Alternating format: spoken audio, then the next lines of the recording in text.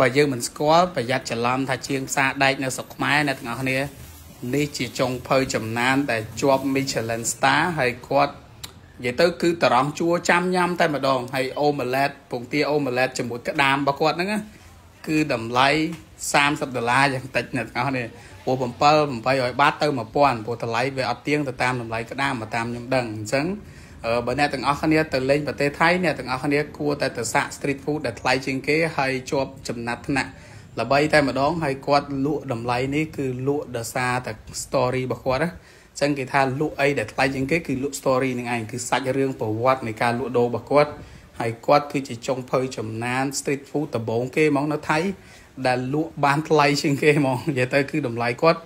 ហើយអ្នកទាំងអស់គ្នាចង់ទៅញ៉ាំត្រូវតែតម្រង់ជួចាំតម្រង់ជួជារឿងមួយធម្មតាហើយប៉ុន្តែកន្លែងគាត់តម្រង់ជួមិនប្រកាសថាបានញ៉ាំទេព្រោះអីខ្ញុំទៅនឹងអត់បានញ៉ាំដូចគ្នាព្រោះដោយសារ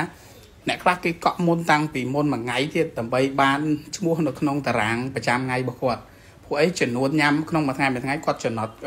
គេកំណត់ចំនួនអញ្ចឹងណាថាមួយថ្ងៃយក100នាក់គឺតែ100នាក់អីចឹងទៅតែខ្ញុំអត់បានសួរគាត់ច្បាស់លាស់ទេរឿងចំនួនហ្នឹងប៉ុន្តែ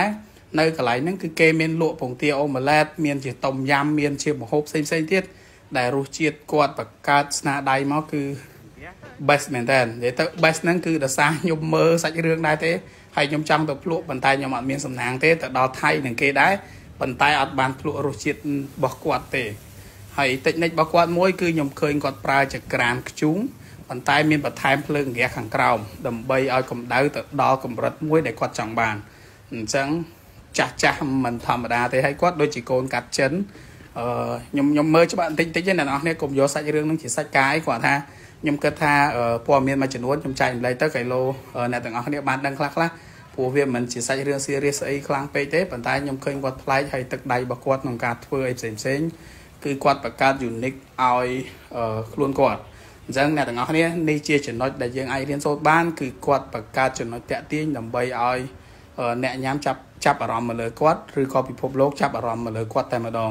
ឥឡូវនេះគឺគាត់ល្បីជុំវិញពិភពលោកតែម្ដងមិនមែនតែនៅប្រទេសថៃទេ street food ដែលសាមញ្ញសាមញ្ញចេញពី local food ហើយប្រវត្តិគាត់ដូចជាធ្លាប់មានភ្លើងឆេះផ្ទះអីអីណាទៀតច្រើនហើយអញ្ចឹងខ្ញុំគិតថាប្រវត្តិតស៊ូគាត់ក៏ច្រើនដែរអ្នកទាំងអស់គ្នាអញ្ចឹងរឿងមួយមួយដែលបានកាត់ឡើងជោគជ័យមិនមែនជារឿងងាយស្រួលទេហើយការលក់តម្លៃរបស់គាត់ប្រប៉ុណ្្នេះគឺមិនថ្លៃទេអ្នកទាំងអស់គ្នានិយាយទៅគឺគាត់លក់ប្រវត្តិបានហើយខ្ញុំជិះតាក់ស៊ីតាក់ស៊ីខ្ញុំសួរទៅគាត់ថាគាត់ញ៉ាំតាំងពីនៅទុះថ្លៃម៉េះអញ្ចឹងតាំងពីដំបូងតាក់ស៊ីនៅញ៉ាំបានឥឡូវតាក់ស៊ីសឹងថាលេងញ៉ាំបានហើយដោយសារតម្លៃ7 800បាតយ៉ាងតិចនិយាយទៅគ្រាន់តែពងទាអូម៉ាឡេតដាក់មួយក្តាមរបស់គាត់ហ្នឹងប៉ុន្តែអ្នកនរគ្នាក្តាមក៏វាថ្លៃដែរហើយបូកជាមួយនឹងប្រវត្តិ story របស់គាត់អញ្ចឹងទៀតគឺកាន់តែពិសេសអញ្ចឹងបើបានទៅថៃកុំភ្លេច J5 អ្នកទាំងអស់គ្នាហាង J5 អូខេបាយបាយ